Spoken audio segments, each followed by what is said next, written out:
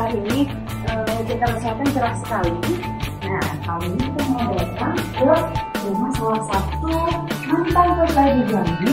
Eh, siapa ya? Ini saya kasih sedikit clue-nya ya. Kalau lihat foto-foto ini, kira-kira udah tahu belum ya? Nanti kalian sekalian, ini rumah siapa? Kalau udah tahu, berarti harus dikasih tahu. Kita langsung samperin aja yang punya rumah. Jadi ya, yang punya rumah lagi ngapain ya?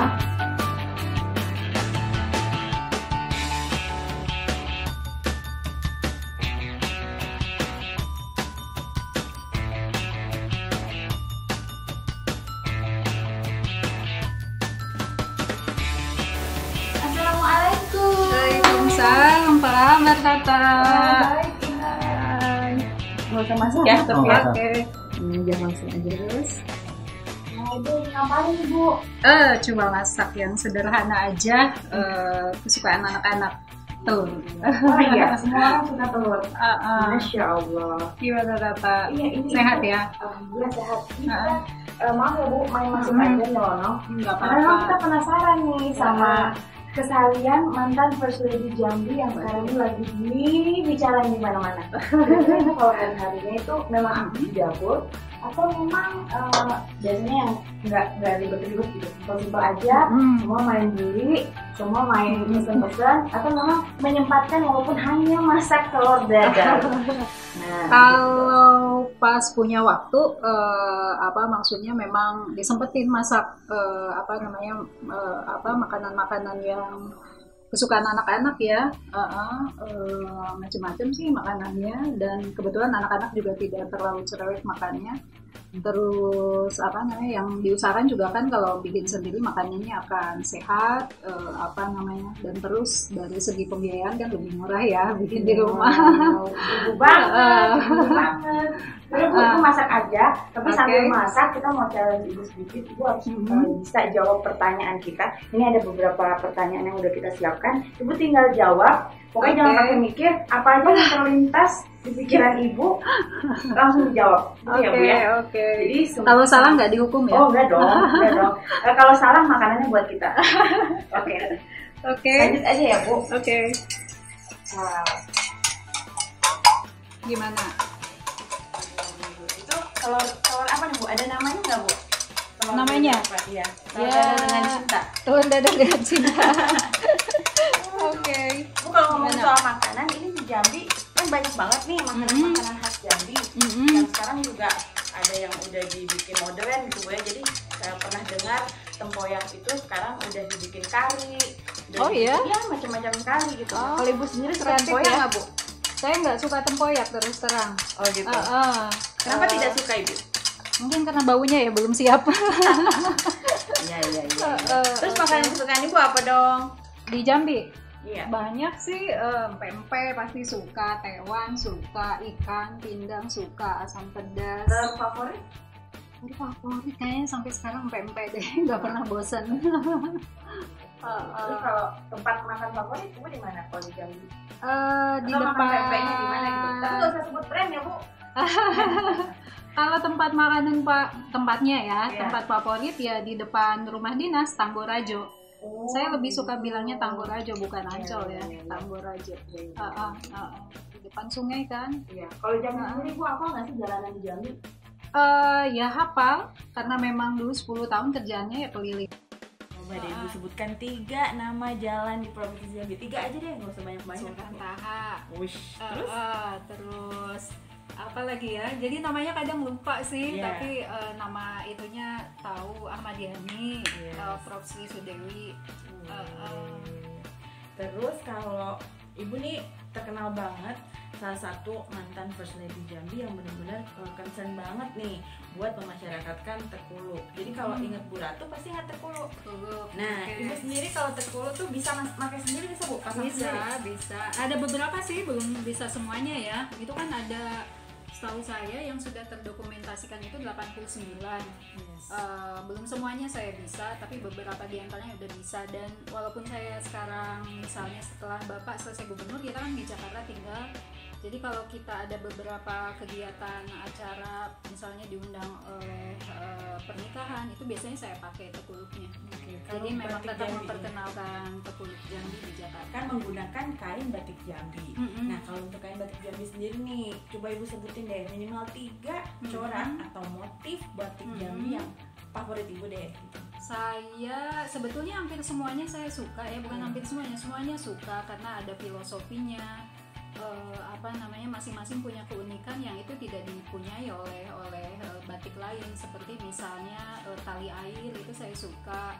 Kemudian motif apa namanya itu riang-riang saya suka. Kemudian juga ada motif apa namanya itu kapal sanggar itu saya suka Eh, walaupun mungkin bagi sebagian orang loh kok kapal sanggar tapi filosofinya sih yang saya ambil di situ eh, di motif kapal sanggar itu gitu Ibu mau dilanjut, dilanjut karena Oke, oke. ini saatnya kita akan memberikan beberapa uh, fast, uh, fast question yang Uh-huh. harus ibu jawab oke sambil masak. Jadi Oke. telurnya harus matang Oke. seiring seiring pertanyaannya selesai. oke oke Baik. Kita tunggu panas. jadi kalau kalau telurnya nggak matang pertanyaannya terus lanjut Oh terus terus kalau telurnya dimasak 8 jam, pertanyaannya 8 jam juga. kehabisan baterai deh Wah, ya. Beda ya kalau tangan ibu rumah tangga itu masak telur aja cantik telurnya gitu. gimana nih kak Ibu, ibu pokoknya sekarang harus sebut kata yang mewakili.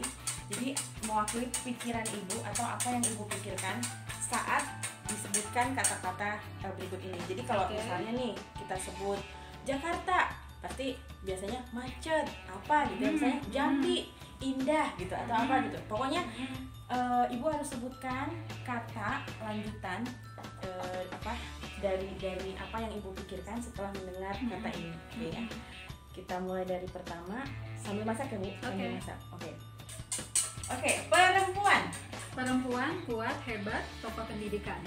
Cinta. Cinta Zulkifli Nurdin anak-anak orang tua. Wah perfect ya.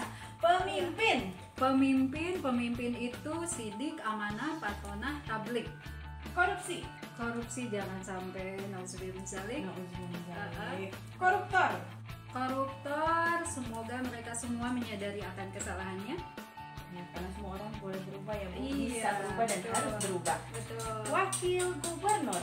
Wakil gubernur fungsinya sangat strategis eh, eh, apa namanya bisa sangat berbuat banyak.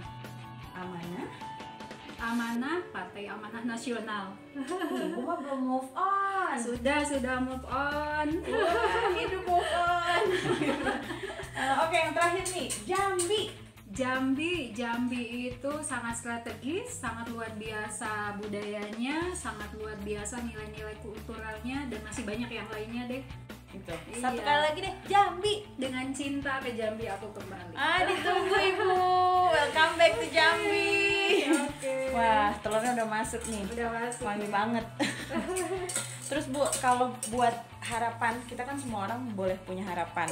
Ini tanpa tanpa harus punya alasan apa pun. Jadi harapan ibu sebagai orang yang pernah tinggal di Jambi khususnya ibu mendampingi suami dalam masa baktinya sebagai gubernur.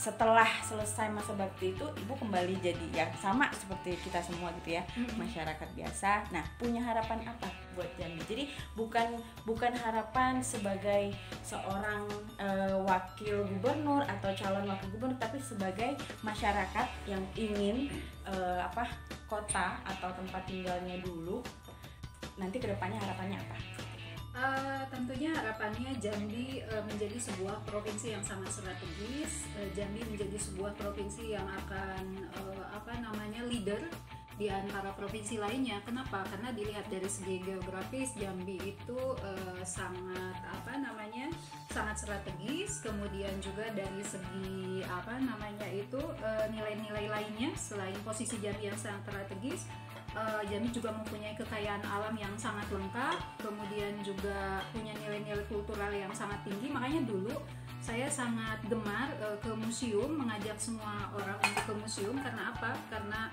eh, di museum itu kita bisa melihat eh, apa sejarahnya Jambi secara utuh. Ternyata Jambi itu mempunyai nilai-nilai yang sangat luar biasa. Museum bukan hanya sebagai tempat untuk melihat, mengenang, tapi ternyata bisa menjadi sumber inspirasi untuk pergerakan ekonomi masyarakat. Saya sudah buktikan saat itu eh, para perajin ketika kita berikan pelatihan, mereka saya wajibkan untuk ke museum dulu, melihat orisinalitas kerajinan Jambi itu seperti apa dan ternyata luar biasa. Dan setelah mereka ke museum, mereka eh, apa meniru, mengamati, mengamati dulu, kemudian meniru, dan ketika itu berhasil dilakukan oleh para perajin Jambi, ternyata atensinya sangat luar biasa mendapatkan penghargaan eh, nasional, juara nasional seperti perhiasan, kemudian apa namanya eh, kain jambinya juga dan eh, ternyata menurut beberapa pengamat mode eh, ahli budaya di apa namanya di Jakarta Jambi mempunyai kekhasan yang itu tidak dipunyai oleh oleh apa provinsi lain.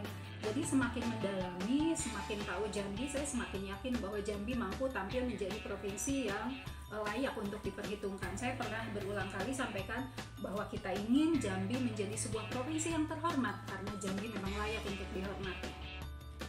Terus yang terakhir bu sebelum telurnya mateng. Oke, ini Kita simmer kita mau tanya nih, kenapa harus CN Bra? Oke.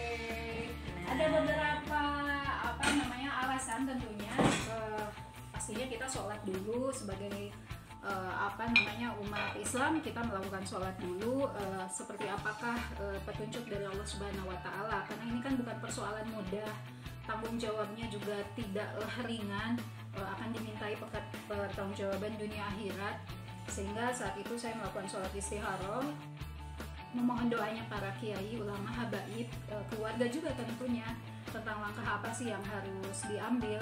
Kemudian yang selanjutnya tentunya saya melihat latar belakang beliau dan kebetulan kami kenal beliau, saya sama almarhum mengenal beliau itu dari sebelum beliau menjadi wakil bupati di saat beliau masih pengusaha. Saya juga kenal istri beliau, Ibu Rosita itu saat itu juga belum eh, apa di pemerintahan. Jadi kurang lebih backgroundnya kami tahu, eh, track recordnya kami tahu. Jadi eh, eh, apa tidak dengan serta merta saja menentukan tapi ada banyak pertimbangan Eh, selain beliau juga alhamdulillah kami melihat eh, orang yang wise bijaksana dan eh, berhasil di dalam membangun eh, Kabupaten Sarolangun dan tentunya pengalaman beliau yang sangat kompleks seorang pengusaha kemudian kepala pemerintahan itu sudah menjadi modal yang sangat cukup untuk membangun provinsi Jambi.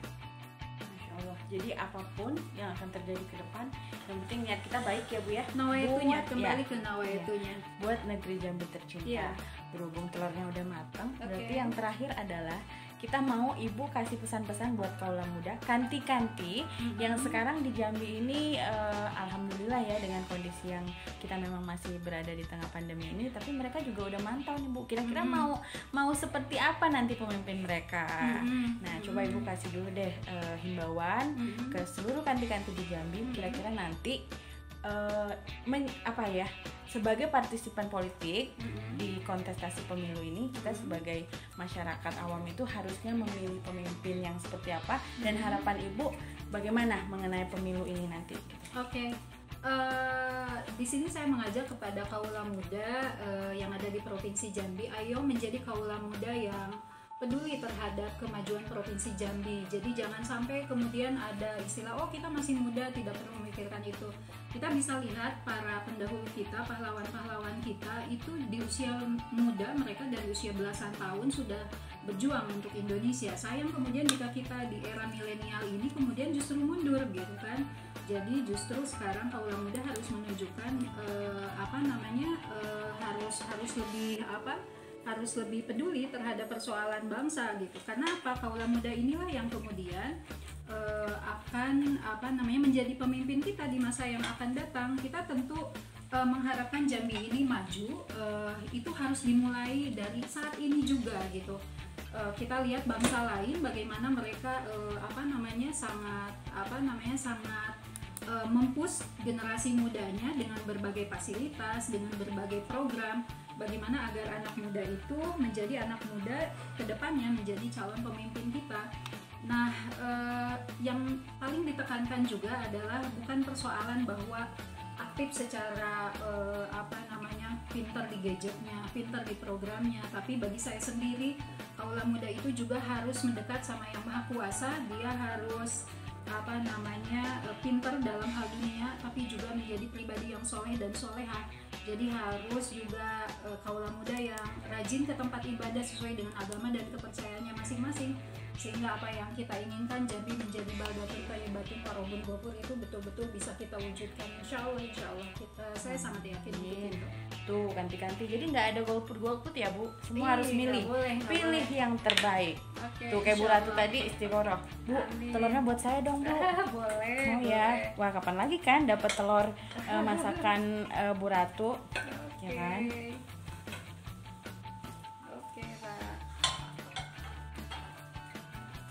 wow delicious.